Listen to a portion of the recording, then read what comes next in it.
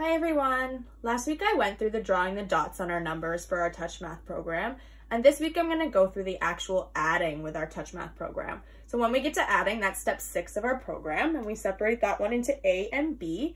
So A will be numbers zero to five as the second number, and B will be numbers six to nine as the second number. So for this step, you're gonna have the student touch the first number and draw dots on the second number. So I've already drawn the dots to save us a little bit of time, but what the student will do is they will count once the dots are, drawn and go one, two, three, four.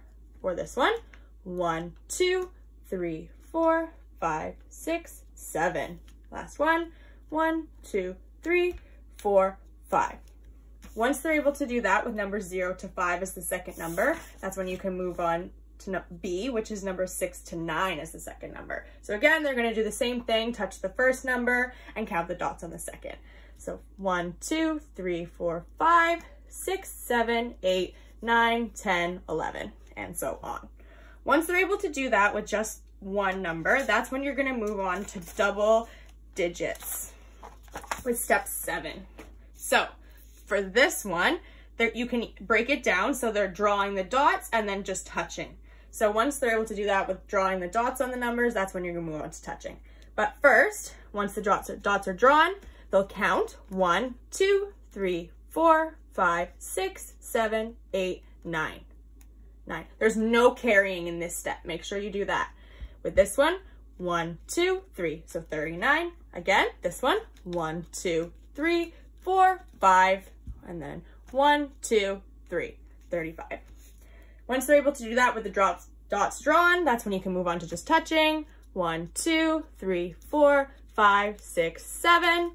One, two, three, four, five, six. Once they're able to do that with no carrying, you are gonna move on to step eight, which is adding with carrying. So again, I've drawn the dots to save us a little bit of a time. So one, two, three, four, five, six, seven, eight, nine, 10, 11, 12. You'll put the two there. You'll have them write the one and then draw the dot. And then they'll count one, two, three, four, five, six. Again, one, two, three, four, five, six, seven, eight, nine, 10, 11.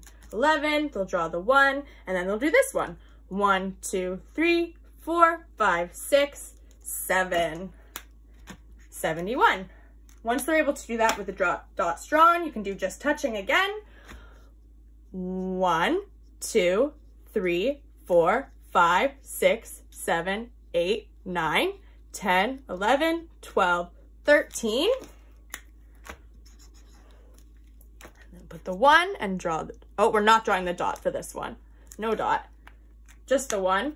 And we'll count again. One, two, three, four, five, six, seven, eight, nine, 93.